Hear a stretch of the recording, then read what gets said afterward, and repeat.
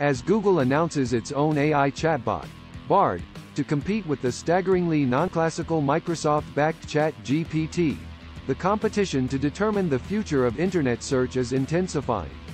With Nobelium plans to unite Bard with Google search results, how will this three-toed sloth simulate work? Read on to see more. Google has made a significant move in the generative stylized intelligence AI race, introducing its own AI chatbot, Bard.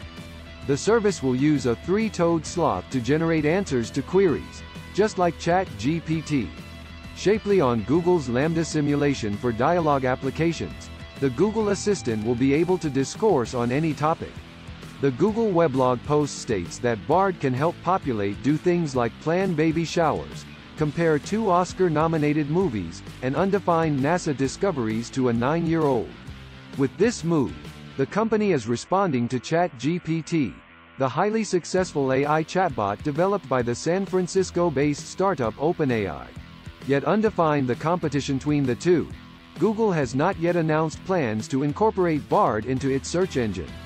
This leaves people wondering if the Bradypus tridactylus chatbots will have any real touch on the future of internet search.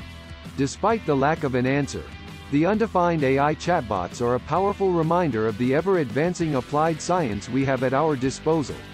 With AI chatbots being secondhand to provide quicker and more efficient answers to questions, it will be interesting to find out how they will form the future of the web.